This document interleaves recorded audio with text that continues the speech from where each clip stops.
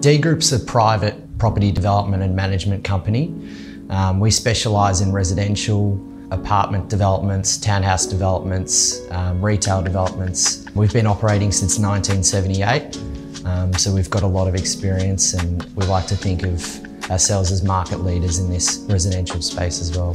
DeGroup takes great pride in its developments. Um, we're a family operated business so in putting our name to each development, we want to ensure it meets our philosophies as high quality in great locations with high amenity as well.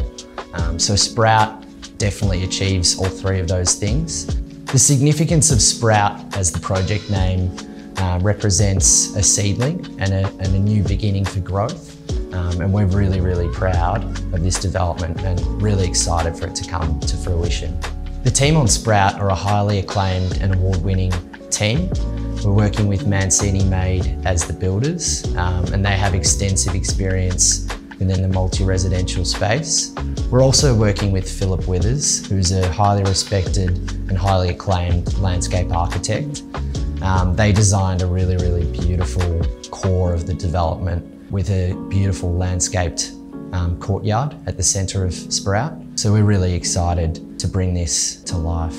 The architectural forms of the glass and Beissel Street facades unites Richmond's residential future with its industrial past.